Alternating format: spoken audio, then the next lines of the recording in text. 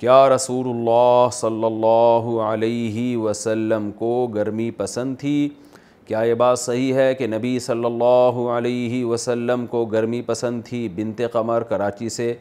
मेरे इल्म में तो ऐसी कोई रिवायत नहीं है। अगर आपके इल्म में हो तो मुझे रेफरेंस दीजिएगा, मैं इन फिर एतराफ़ कर लूँगा।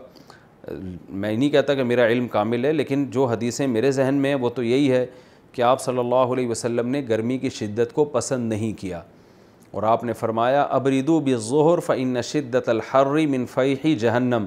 गर्मियों में आपने जोहर के बारे में हुक्म दिया, ठंडा करके पढ़ो, थोड़ा देर से पढ़ो, क्योंकि गर्मी की शिद्दत ये जहन्नम की किस फ़ह में से है, यानी जहन्नम के सांस में से है, जहन्नम की जिन्स में से है। जहन्नम भी तो गर्म ही है ना, वही अजाब है तो गर्मी की शिद्दत भी एक किस्म का अजाब है। उसके अपने अलग फ़ायदे हैं, लेकिन डायरेक्ट उस गर्मी को लेना इंसान के लिए नुकसान का ज़रिया बन सकता है। इसलिए नबी सल्लल्लाहु अलैहि वसल्लम ने गर्मी की बहुत ज़्यादा शिद्दत को पसंद नहीं किया। लेट कर नमाज़ पढ़ने का तरीक़ा, मेरी रीढ़ की हड्डी की सर्जरी हुई है, जिसके बाद डॉक्टर ने मुझे सख्ती से बेड रेस्ट की हिदायत की है। क्या मैं बिल्कुल सीधा लेट कर नमाज़ पढ़ सकता हूँ? और क़िबले की तरफ़ कैसे रुख किया जाएगा नौमान साहेब लाहौर से?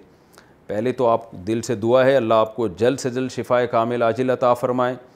और अल्लाह आपको नमाज़ का और हौसला अता फ़रमाए कि इस बीमारी में भी आपको नमाज़ याद है। तरीक़ा ये है कि आप किसी के ज़िम्मे लगाएँ, आपको वज़ू करा दे वो, लेटे लेटे। और अगर कोई ना कराने के लिए तैयार हो, ख़ुद भी ज़रा भी हरकत ना कर सकते हो वज़ू के लिए, कोई दूसरा भी नहीं करा सकता तो फिर तयम कर लें। और फिर नमाज़ आपने ऐसे पढ़नी है कि आप अपने पाँव किबले की तरफ़ करें और सर जो है थोड़ा सा उठा के किबले की तरफ़ कर लें और फिर गर्दन के इशारों से आप नमाज़ पढ़ें। अगर कमर हिलाना आपके लिए मुमकिन नहीं है। रुको में आपने थोड़ा सा गर्दन झुका दी, सरदे में थोड़ी सी और ज़्यादा झुका दी और क़्याम में आपने गर्दन इस तरह से बिल्कुल नॉर्मल कंडीशन में रखी तो इस तरह आपकी नमाज़ इन अदा हो जाएगी। अल्लाह आपको नमाज़ का पाबंद बनाए और जल्द से जल्द अल्लाह आपको शिफा अता फ़रमाए। नाबालिग बच्चा फौत हो जाए तो वालदेन की क्या वो शफात करेगा? नाबालिग बच्चे जो वफ़ात पा जाते हैं, क्या ये सही है कि वो अपने वालदेन की शफात करेंगे? ख्वा वालदेन गुनहगार ही क्यों ना हो? मोहम्मद इलियास अबू जहबी से बिल्कुल सही हादीस से साबित है कि जो बच्चे नाबालिगी में मर जाते हैं, वो क़यामत के दिन शफात का ज़रिया बनते हैं, तभी तो हदीस में है। कि नाबालिग बच्चे के जनाजे पे जो दुआ पढ़ी जाती है, उसमें ये अल्फाज हैं वज वजअलना शाफ़ियान व मुशफ़ा अल्लाह, इसको क़्यामत में हमारा सिफारशी बना और ऐसा सिफारशी जिसकी सिफारिश तो कबूल करे।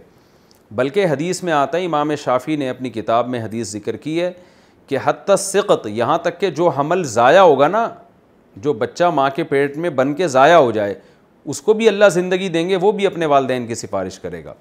रहा ये मसला कि वालदेन गुनागार ही क्यों ना हो तो भाई गुनागार ही की सिफारिश होती है, लेकिन यहाँ ये नहीं सोच लेना चाहिए कि अब वो लाजमी माँ बाप जन्नत में ही जाएँगे। वो सिफारिश तो करेंगे, उस सिफारिश की बरकत से जहन्नम की सज़ा मुआफ़ भी हो सकती है। ये भी हो सकता है कि गुनाहों की सज़ा कम हो जाए। तो दोनों सूरतें हो सकती हैं, लिहाजा आमाल से गाफिल नहीं होना चाहिए। बाकी इस पर बशारते हैं कि नाबालिग बच्चे फ़ौत हो जाएँ। हदीस में आता है, जिसके तीन बच्चे फ़ौत हुए उसने सब्र किया मैं उसके लिए जन्नत की ज़मानत लेता हूँ। साहबी ने कहा दो आपने फरमाया दो पर भी लेकिन सब्र भी की जा, किया जाए और इस पर अतमाद कर लेना जायज़ नहीं है कि आप अमाल से गाफिल हो जाएँ।